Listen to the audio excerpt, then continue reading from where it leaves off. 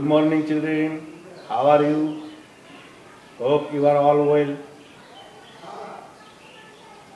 তাহলে দেখো আজকে তোমাদের ড্রয়িং বইয়ের page number page number eight এবং তিন এর মধ্যে কি কি আছে দুটো ছবি আমি তোমাদের দেখাচ্ছি তো প্রথমে নেই পেজ নাম্বার এইট এর মধ্যে কি আছে একটা তরমুজের তো প্রথমে আমরা কি করব এরকম একটা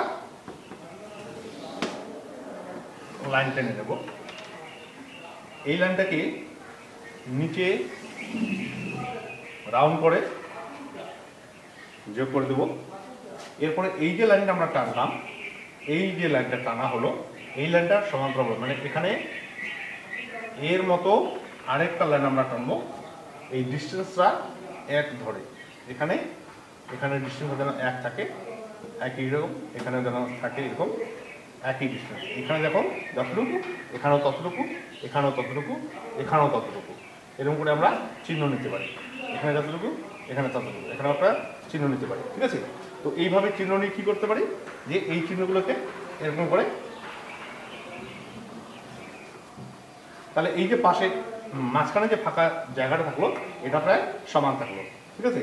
তাহলে এই দুটো লাইন সমান্তরালভাবে গোলাকার ভাবে যাবে জয় হবে এবার আমরা কি করব? এই মাথা থেকে মানে এখান থেকে এবং এইখানে আরেকটা লাইন টানবো, কিন্তু নিচে মাঝখানে সেটা অনেক মোটা হয়ে যাবে, ঠিক আছে? তাহলে এইভাবে নিয়ে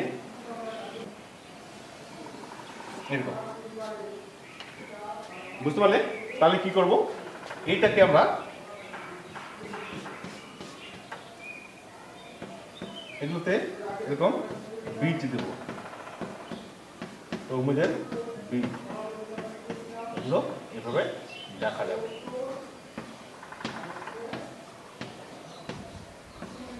অনেকগুলো দিব। এখানে যে নিচে যে যা রয়েছে, এটাতে আমরা ডিপ গ্রিন কালার কটা করব। বইয়ে যেমন দেওয়া আছে তোমাদের, দেখবে। বইয়ে যেমন দেওয়া আছে সেইভাবে তোমরা এখানে ডিপ গ্রিন ডিপ গ্রিন দিয়ে এভাবে ভর্তি করে দাও। বুঝতে গেলো এবার এখানে কি আছে? রেড তাহলে এভাবে প্রথমে এভাবে ট্রেনে ভর্তি করলে ছবিটা খুব সুন্দর দেখতে হবে। এভাবে ভর্তি করলে তারপর বীজগুলো যে আছে, বীজগুলো কালো রং দিয়ে, বীজগুলো কালো রং দিয়ে এরকম করে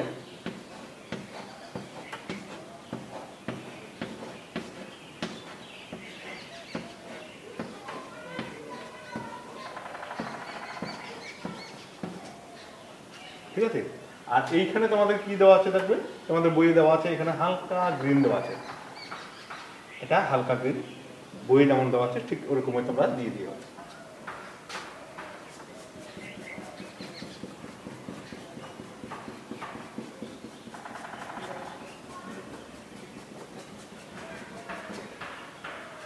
বুঝে গেল?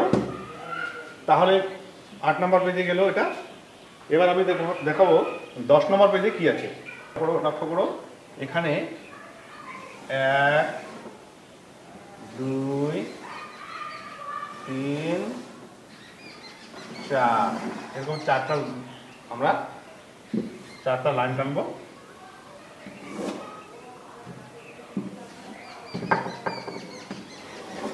চারটা লাইন টানবো সমানভাবে। লাইন টানার পরে কি করব?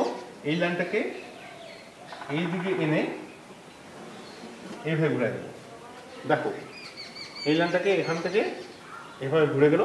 একইভাবে পরের লাইনটা থেকে শুরু হবে। এর মতো এখানে জয়েন হবে। এর যেমন এখানে জয়েন হলো, এ এভাবে জয়েন হবে। একইভাবে উপরে উঠল, এও একইভাবে উপরে উঠবে। এভাবে নামলো, তো এও গিয়ে এখানে এমন নামলো। মানে একই রকম হবে পরের লাইনটাও। ঠিক আছে? তাহলে এইখানে আমরা, আমাদের আরেকটা লাইন দরকার আছে। কারণ যে এই লাইনটা তখন এদিকে নিচে আসবে, নিচে এসে এখানে যাবে।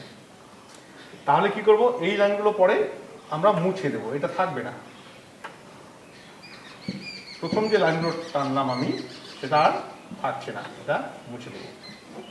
এখানেও এই লাইনটা থাকবে না। এখানেও এই লাইনটা থাকছে না, এটা মুছে দেবো। তাহলে কোন লাইনগুলো থাকল? এই যে ঢেউ খেলানো লাইনগুলো থাকল। পতাকাটা উড়ছে মনে হবে ঠিক আছে? তো এখানে আমরা কি করব? শেষে মাথাটাকে জয়েন করে দিই। এইখানে দুটো লাইন আমরা টেনে দিই এরকম করে। আর এইখানে কি করব? এরকম করে দেখবে তোমাদের বইয়ে দেওয়া আছে। এখানে আলাদা করে একটা লাইন দেওয়া আছে। তারপর উপরে একটা বিন্দু দেওয়া আছে। ঠিক আছে? এইভাবে দিয়ে নেবে। এইখানে লাইন কাটা আছে এরকম করে বেঁধে দেওয়া আছে আর কি, এরকম করে বেঁধে দেওয়া আছে। বাদাম বাদামগুলোকে এইভাবে বড় করে দিতে পারব। ঠিক আছে? এবার দেখবে এইখানে তোমাদের একটা চক্র দেওয়া আছে, তাই না? এটা হচ্ছে অশোক চক্র। পতাকার ভিতরে কি আছে? অশোক চক্র আছে। তো অশোক চক্রটা আমরা কি করব? এরকম গোল করে নেব, নিয়ে এই মাঝখানে একটা ছোট্ট বিন্দু করে নেব। বিন্দু করার পর কি করব? এইটাকে উপর থেকে নিচে কেটে দেবো একদম। অর্ধেক করে লাইন পাশাপাশি এই লাইনটাকে আমরা অর্ধেক করে কেটে দেবো। ঠিক আছে? এবার এই দুটো লাইনের মাঝখানে যে ফাঁকাটা রয়েছে, এই ফাঁকাতে আরেকটা, মাঝখানে মাঝখানে আরেকটা করে লাইন টেনে দেবো। আরেকটা করে লাইন টানবো। তো এটা অবশ্যই কিন্তু ব্লু কালারে হবে, ঠিক আছে? এবার এই যে ফাঁকাগুলো হলো, এখানে দুটো করে লাইন হবে। এই ফাঁকাতে দুটো করে লাইন এখানে একটা লাইন এখানে একটা লাইন দেখো দুটো টানলাম তাহলে এই এটাতেও দুটো মাঝখানে হবে, এখানে একটা এখানে একটা, দুটো। তাহলে এখানে একটা এখানে একটা, দুটো। এখানে একটা এখানে একটা, দুটো। এখানে একটা এখানে একটা, দুটো। এবার দুটো দুটো করে আমরা মাঝখানে লাইন আরও টেনে দেবো। বুঝতে পারলে? তাহলে এইভাবে তোমাদের পতাকা হয়ে গেল। এবার পতাকাতে দেখবে তোমাদের রং কী দেওয়া আছে, তোমরা তো জানো। কোথায় কী রং দেওয়া আছে এবং তোমার বইটা দেখবে, বইটা দেখে তোমরা এটা রং ভর্তি করবে।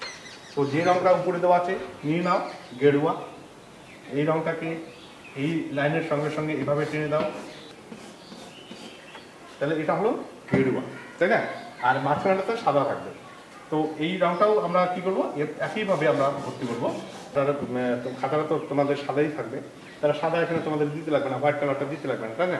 তো এটাতে খালি রেখে দেবে, তাহলে ওটা এমনিতেই হোয়াইট দেখাবে। তো নিচেরটাতে আমরা কি করব তখন? নিচেরটাতে ডিপ গ্রিন যেটা রয়েছে বা শেপ গ্রিন বলতে পারি শেপ গ্রিনটা দিতে পারি। এইভাবে আমরা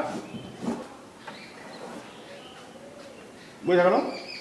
এখানে যে হাতলটা রয়েছে, এই হাতলটাতে তোমরা যে কোনো কালার নিয়ে দিতে পারো, রং দিয়ে দিবে ঠিক আছে?